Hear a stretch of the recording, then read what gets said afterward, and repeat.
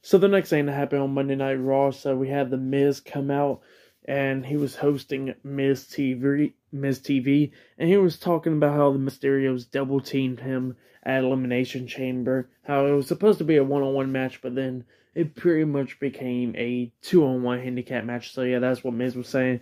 But he's saying he got some mystery tag team partner uh, to team up with him at WrestleMania against the Mysterios. And when he was about to introduce that mystery partner, all of a sudden Rey and Dominik Mysterio came out and interrupt him and talking about like we don't care who your mystery partner is, we'll still beat you.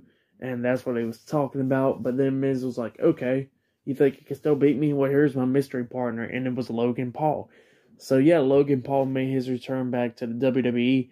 Now, he was uh, at WrestleMania last year. He was not in a match, but he was in Sami Zayn's corner, and then that's when Kevin Owens uh, hit the stunner on him and everything, and that was the last time we've seen him uh, being in the WWE since then, since last year's WrestleMania. But this year, it looks like he'll finally be in the match, and he'll be teaming up with The Miz to take on the Mysterios at WrestleMania.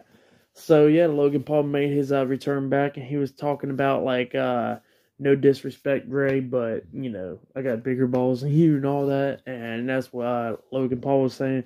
But then uh, Dominik looks and he goes like, "Well, if that if this joke is going to be your tag team partner, we accept. We'll beat y'all."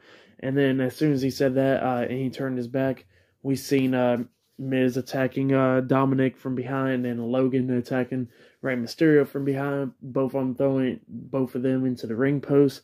And then uh, we seen uh, Logan Paul grab Rey, throws him into Miz. Miz hits the Skull Crusher finale on Rey in the middle of the ring, laying him out.